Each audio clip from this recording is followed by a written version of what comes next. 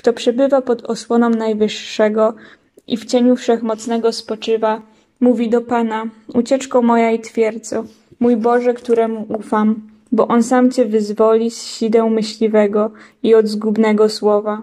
Okryje Cię swymi piórami i schronisz się pod Jego skrzydła. Jego wierność to puklerz i tarcza.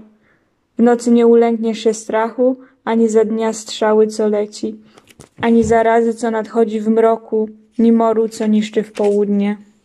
Choć tysiąc padnie u Twego boku, a dziesięć tysięcy po Twojej prawicy, Ciebie to nie spotka.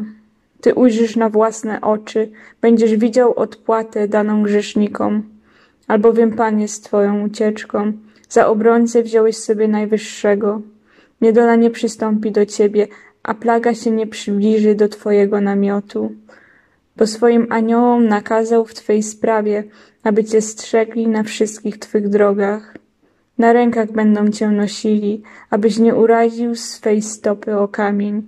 Będziesz stąpał po wężach i żmijach, a lwa i smoka będziesz mógł podeptać.